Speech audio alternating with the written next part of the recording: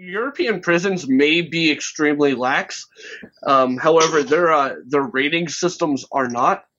uh, to the point where European Stick of Truth players, the new South Park game that came out recently, uh, don't have access to seven uh, playable scenes in the game.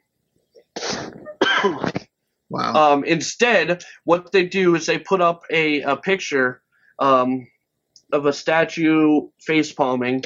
Uh, Looks like with Michelangelo's a- David. the European Union flag.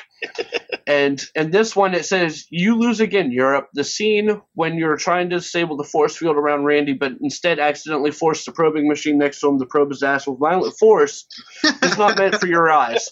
Randy, in obvious rectal pain, urges you to proceed forward. Wow.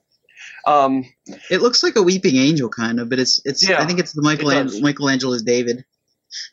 uh, uh, it, it, it turns out that any scenes that involve rape or anal probing uh, have been removed and replaced with an image and a description of the uh, the scene.